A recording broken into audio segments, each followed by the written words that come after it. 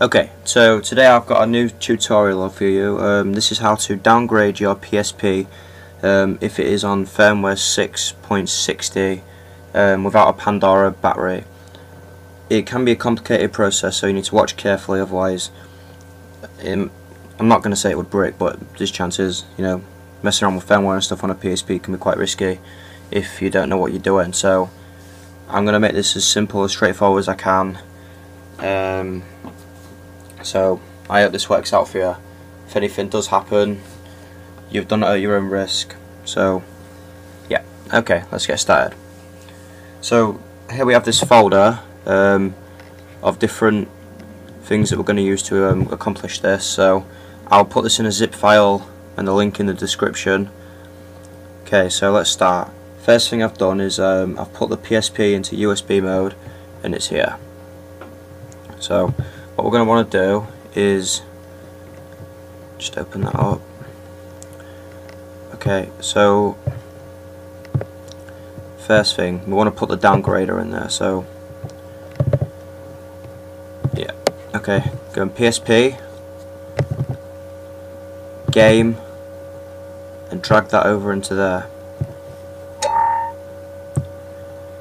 Then you'll need to put the firmware just here to make a new folder in the game directory of the PSP and just put it in capitals updates. Okay so once you've done that you'll get an e-boot in the firmware folder. This is a 620 firmware so I'm downgrading to so you'll get an e-boot file. Drag that into the new folder you just made. Okay now I'm going to go onto the PSP through my other camera and um, show you what to do for the process for there.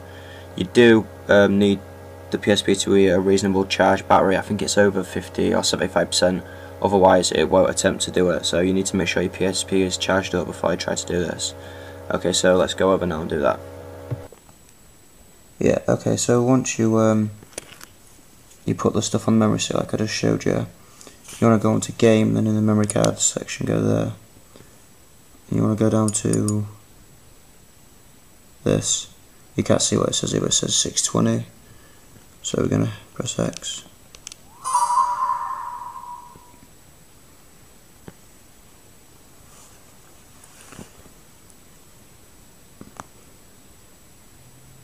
Just going to come up with some warnings and stuff, so just press X again. Um, and I'm going to stop it here to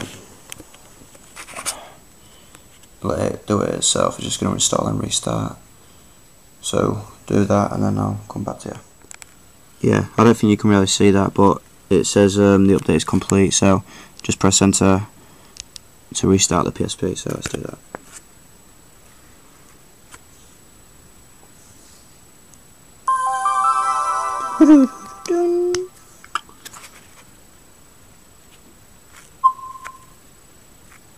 yeah. That looks nice. yeah, so um, it finished installing and then it restarted and as you can see uh, 620 so you can't really see that but that's what it says anyway. Yeah. So yeah um, I hope this helped. If you would like to learn how to install custom firmware then visit the um, the next video. I'll put an annotation on this one. Please subscribe if this has been useful. Um, yeah, okay. Cheers for watching guys. Bye.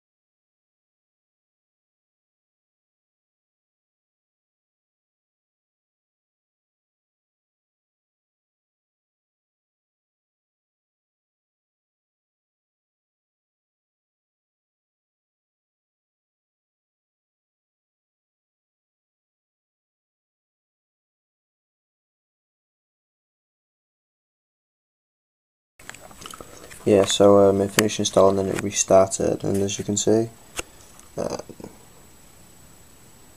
620. So you can't really see that, but that's what it says anyway.